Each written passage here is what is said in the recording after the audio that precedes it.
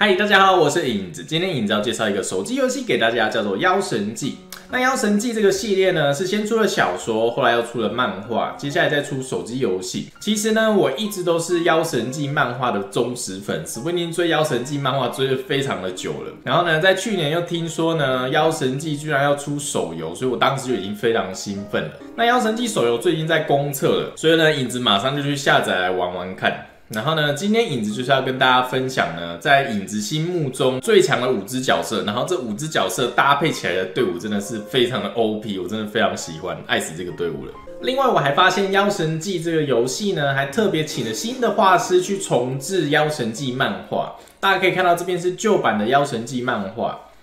然后这边是新版的《妖神记》漫画，其实新版的《妖神记》我觉得画风真的是比之前精致的非常多，然后人物的设计上面呢也比以前更细致，我真的觉得非常棒。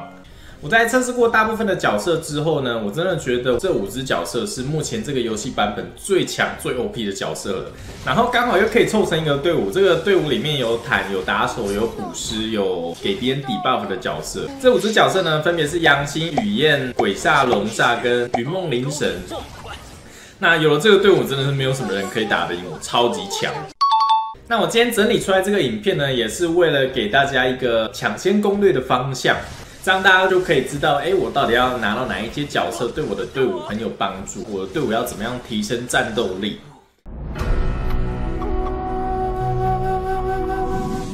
好，首先第一次要介绍的角色呢，就是在我心目中为第五名的 SSR 咒术师云梦凌晨之角色。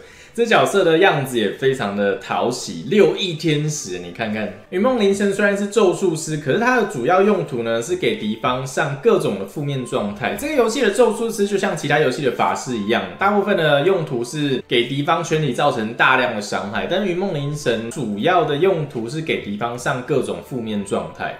我们先来看一下云梦灵神的技能，绝技呢就是我们玩家需要去点来主动触发的技能。他的绝技是云梦灵神对敌方全体造成相当于云梦灵神法强的一百八十六点三的法术伤害，并附加缴械效果，持续四秒钟。处于缴械状态的敌方呢，无法进行普通攻击。也就是说呢，可以全体封住敌方的普通攻击，而且普通攻击不是只有纯粹的一般攻击而已。这游戏很多的角色啊，普通攻击都会带有附加效果，像什么吸血啊，不然就是普通攻击可以让你上一些负面状态等等的。所以封住普通攻击其实作用比想象的还大很多。在他的第一个被动技呢，云梦灵神随机攻击三个目标，各造成自身法强三十五 percent 的法术伤害，并对目标附加云梦效果。云梦效果会降低目标的二十 percent 物理攻击和法强。所以呢，他又封敌人的普通攻击之后呢，又可以降低敌方的物理攻击和法术攻击。所以这只角色真的是，嗯，很厉害。在第二个被动技呢，每当敌方目标附加的云梦效果达到三成后呢，云梦灵神会对其造成自身法强的两百七十六 percent 的法术伤害。所以云梦效果叠得很高的时候呢，还会额外触发伤害。第三个被动呢，云梦灵神的普通攻击有十八 percent 加命中效果的几率为敌方附加云梦效果。然后呢，下面等级提升的时候还会再额外增加命中几率。所以连云梦灵神自己的普通攻击都会附加云梦效果。再来看他的觉醒技，云梦灵神每一次成功为敌人附加云梦效果，都有五十 percent 加效果命中的几率附加额外一层。所以呢，这些角色如果称命中称高的话呢，每一次的云梦效果都算是两层，所以它叠就会非常快。然后另外这个被动技还会额外造成伤害。所以在给敌方降攻击、降魔法攻击，然后不能用普攻之外呢，这角色还可以一直对敌方造成固定的伤害，真的非常棒的一只角色。星魂的部分呢，我最推荐的是影袭这个套装。我推荐影袭的原因，主要是因为它有效果命中增加十 percent，效果命中对这只角色云梦凌晨真是非常重要的一个属性。可以让他的云梦一直叠加，很容易打中敌人。所以这些角色呢，就是效果命中升高就对啦。然后呢，四套的时候呢，还会忽略敌方的四十 percent 护甲跟魔抗。那大家知道，敌方如果云梦叠的越高的话呢，云梦灵神是会一直持续造成额外的伤害的。再来呢，因为有六个位置嘛，所以四套之外呢，我们还要装备另外一个套装。风雪之佑呢是两件的时候就会有生命增加十 percent。那为什么要增加生命呢？因为我觉得云梦灵神其实不是单纯的给敌方输出，它主要用途是降敌方的攻击力，跟让敌方无法使用普通攻击。所以这只角色最好撑一点坦度，这样子才不会太容易死掉。再来，我觉得最搭配云梦灵神的意识闸呢，就是未知的情感这个意识闸啦，主要是减少受到的伤害。那跟我刚刚讲的，就是云梦灵神需要一点点的坦度。再来第四名就是我们的杨心大姐姐啦。那手机版本里面的杨心呢，跟我们原作的漫画里面杨心长得有点不太一样。这边可以看到原作漫画里面的杨心呢是紫色头发，然后呢看起来没有那么的成熟，穿的也比较多一点点。那手机版本这边有给大家一些福利哈，这边还可以看到杨心的妖灵，我觉得杨心的妖灵长得有一点像原作漫画里面的杨心呢。这个游戏的光圈效果做的其实还不错，你看地上还有一些绿光，然后手上会一直发光。这游戏的光圈效果就是做的非常棒。OK，回归正题，杨希呢是 SSR 的炼丹师。那这个游戏的炼丹师大部分都是补食，这边可以看到生命护甲魔抗法强全部都是 A，所以它的基本数值是非常强的。它的主动技能是杨心变身之后释放一道治疗法术。为我方生命值最低的单位回复阳心法强三百 percent 的生命。若此次治疗造成的暴击，则会为己方全体单位恢复此次治疗的七十 percent 生命。所以只要暴击的话，就会恢复全体的血。在它的第一个被动技呢，对敌方三名目标造成法强九十 percent 的法术伤害，并对我方生命值最低的单位恢复阳心法强一百二十 percent 的生命值。如果该技能造成暴击的时候，则会为该目标添加持续治疗状态，在六秒内每秒回复相当于此次治疗量的十 percent 生命值，每一点五秒触发一次。也就是说，在六秒内总共会触发四次，所以会一直补血，一直补血，就搞得我们真的快死的角色。会变得非常难死啊！因为只要生命力最低的那个角色，你就会一直被回复。不过这边也看到技能也是要造成暴击，所以杨心呢虽然是一个补师，可是他的暴击几率要撑的蛮高的，因为他的技能都是暴击的时候会有额外的效果。在第二招被动技，杨心每隔十六秒会为自身附加一个护盾，可以抵挡一次技能伤害以及其附带的减益效果。所以杨心这角色也是非常的难死啊。首先他的护甲呢、魔抗呢、生命都还算挺高，都都是有 A 级的，所以这只角色防御力也不错。另外还会一直给自己有护盾，所以这只角色又非常的难死。再来第三招被动技，提升瞒天花语二十四 percent 的治疗量。那瞒天花语就是我们刚刚所看的主动技，同时若瞒天花语技能触发暴击的时候呢，则还会驱散目标身上的所有负面状态。所以杨心真的是非常全面的补师。星魂的部分呢，我推荐追魂这个套装搭配卓彦礼。追魂这个套装呢，主要是增加暴击几率啦。它的技能通通需要暴击，所以呢，能尽量把它的暴击几率撑越高越好。追魂的这个套装呢，第四件属性还可以在每击杀一个敌方单位的时候，恢复自身十百分的生命值。在卓彦礼呢，两套的时候也是增加暴击几率。在意识闸的部分呢，我觉得杨心比较推荐穿这。个惊鸿艳影，因为它增加暴击几率，纯粹的完全就是帮杨心冲高它的暴击率就对了，你就会发现它的补血量真的是非常的恶心。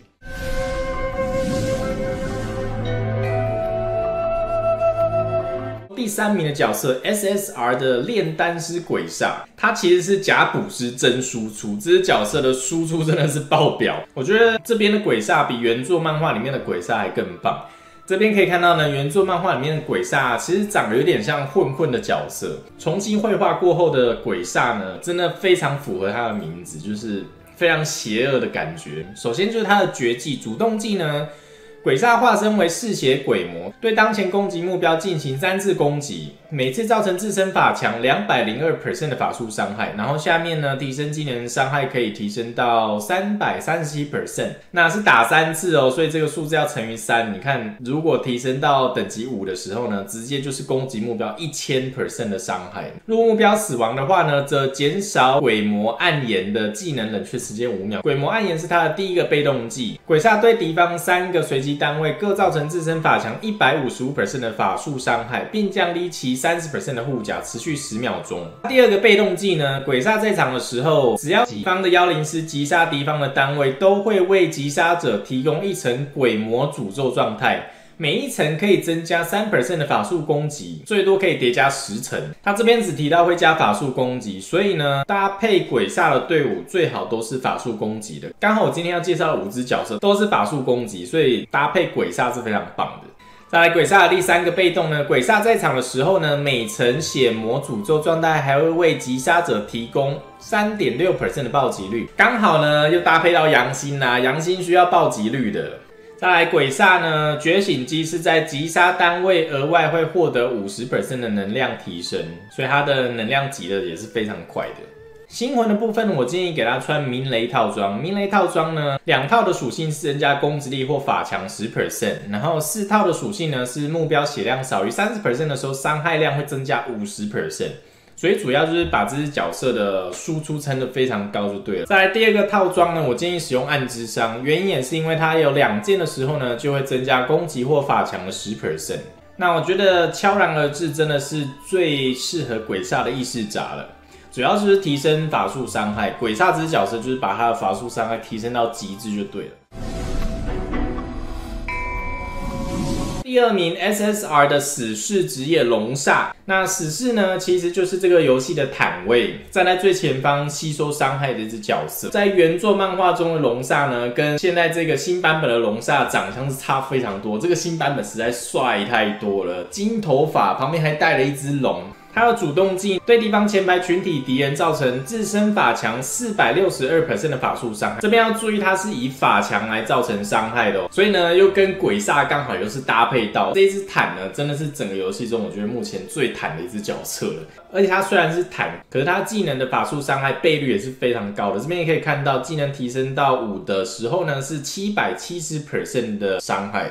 它的生命是 S 等级，法强是 A 级，所以呢，法强也不错。他的第一个被动龙煞对当前攻击目标造成自身法强一百九十八%的法术伤害，同时为自身追加一个二十 percent 的吸血增益效果，所以他这只角色还会吸血。第二个被动技呢是龙煞永久提升自身的效果抵抗。第三个被动技屹立不倒。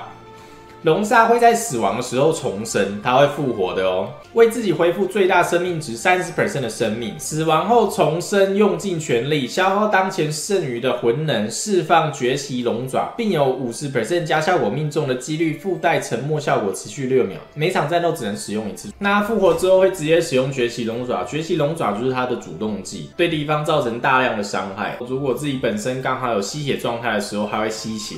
它的觉醒技能是重生后增加十五 percent 的生命和攻击，所以复活之后呢，自己的攻击力跟生命都还会额外再提升。所以这只角色呢，就是本身非常的坦，然后又会复活，然后又会吸血，法强的输出也不太低哦，它法强输出也是挺高的，所以这只角色真的是非常恶心。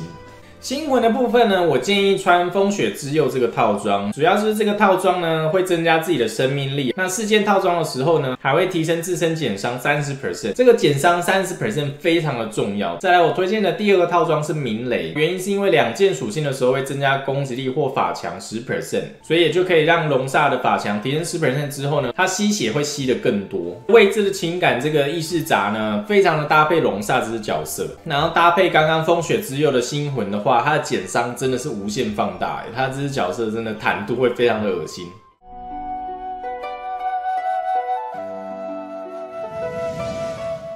这就是我们的第一名 SSR 咒术师雨燕呐。雨燕其实是火之灵神，因为在原作中跟主角比较熟，所以他的名字比较被众人所知道。原作漫画中的雨燕是白色的头发，身体是穿红色的衣服。这边新版的雨燕呢，头发是变成红色，比较搭配火之灵神这个称号。红色丝带变成了六个黑色的翅膀，我觉得有翅膀就是有赞。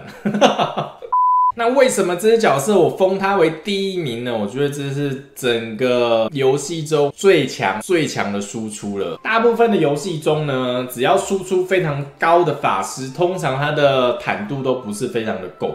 但是雨燕呢，刚好是相反，颠覆了传统玻璃渣大炮的感觉。它是法术输出超级痛，然后呢，生命值是 S 级，就是本身又很坦。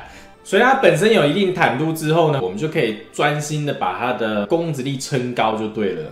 所以这是为什么我给他第一名的原因啦。它的主动技呢，雨燕动用火焰法则之力，在敌方阵营中引爆一朵烈焰莲花。对敌方群体造成自身法强三百一十 percent 的法术伤害，目标有火焰印记的时候，则会立即引爆该印记，对目标造成雨燕自身法强的一百 percent 法术伤害。它第一个被动，雨焰释放烈焰，对随机三名目标各造成自身法强一百二十二 percent 的法术伤害。第二个被动呢，雨焰的普通攻击有三十 percent 加效果命中的几率，为当前攻击目标附加一个火焰印记。那这个火焰印记就是刚刚我们给第一招来引爆用的，伤害会非常的痛。第三个被动呢，被雨燕附加了火焰印记的敌方单位，魔法防御力降低三十 percent，加到加五的时候，魔法防御力会降低至五十 percent，直接降一半的魔防。然后刚好最强这五只角色所搭配的队伍又全部都是魔法攻击力的，所以呢，这个降低魔防简直就是对这个队伍来说有非常大的提升。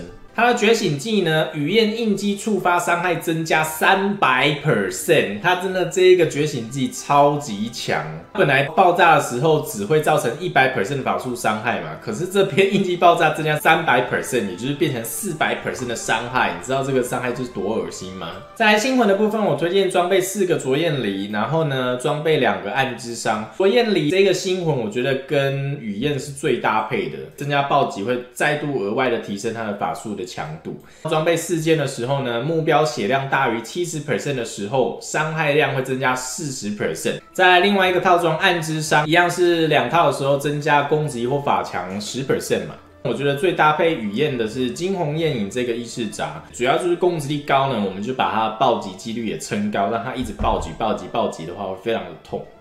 OK，以上就是我觉得目前游戏版本最强的五只角色，然后刚好五只角色又可以搭配成一个队伍，真的非常的强力。那这个游戏我觉得它的人物设计还蛮棒的，它的人物设计跟漫画中故事中所表现出来的感觉非常的搭配，所以我觉得这个新版本的角色设计都很棒。那当然还有其他角色啊，金之灵神啊，叶宗啊，这是城主哎，叶宗好帅哦。哈哈哈哈我觉得比原本的版本还帅很多。这个叶中大叔，我觉得角色品质都比原作漫画中还提升了不少，就是有把他们的特色表现出来。再就是这个游戏呢都有配音，我觉得它的中文配音不会非常的尴尬，我觉得还不错。夜里，肉竟然能闯到本尊面前，聂离不幸被圣地重伤，奄奄一息。因为玩过很多游戏啊，其实，在中文配音的时候，我觉得都会有点别扭。但这个游戏我觉得还可以，这个游戏的音乐、战斗音乐也做的不错。然后每一个角色在释放技能的时候，都有他专属的配音。真是玉皇大人救我！姐姐，姐姐，我的力量还是……这游戏的角色也非常的多变。每一只角色都有它的独特技能，所以玩家要怎么去搭配你自己的独特队伍呢？是非常考验玩家的思考能力。装备的搭配呢，因为有星魂的套装嘛，还有异世闸这两种东西，然后每只角色都有它专属的神器，所以有各种各样的搭配啊，玩家可以自己发掘出你自己想要的搭配。我心目中最强的五只角色影片就在这边告一段落，希望大家会喜欢。那我会把这个游戏的官方网站贴在这个影片的下方，然后呢，也会把他们的重置漫画的连接放在这个影片的下方。那在这边谢谢各位的收看啊，那我们下次再见喽，各位再见。拜拜。